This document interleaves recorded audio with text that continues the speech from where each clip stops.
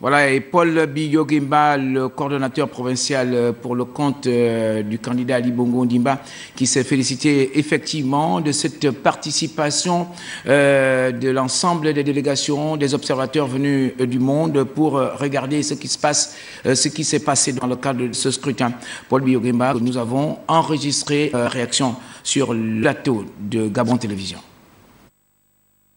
D'abord, c'est une bonne chose qu'il y ait eu les observateurs internationaux. Vous savez, euh, beaucoup de gens ont peur du contrôle, mais c'est un mauvais réflexe. C'est bien d'être contrôlé parce que quand vous, êtes contrôlé et qu'à la fin on dise que c'est bien, ah bah, vous voyez, vous marquez des points.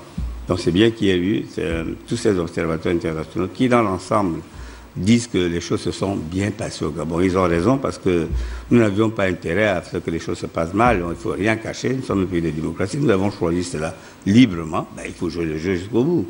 Et c'est ce que nous avons fait. Les observateurs internationaux étaient partout, sont rentrés dans les bureaux de vote, ont fait des observations. Euh, que nous suivrons à l'avenir pour améliorer, parce que rien n'est jamais parfait. Il faut améliorer le processus. Mais à ce stade, il est largement au-dessus de la moyenne et nous sommes fiers. Nous devons être fiers, tous les Gabonais, tous les Gabonais doivent être fiers d'avoir participé à une élection aussi euh, crédible, aussi transparente, aussi ouverte, et euh, qui permettra euh, de, désigner un candidat que tout le monde va reconnaître comme président de la République. Donc nous, sommes, nous sommes contents, ça ne nous dérange pas du tout.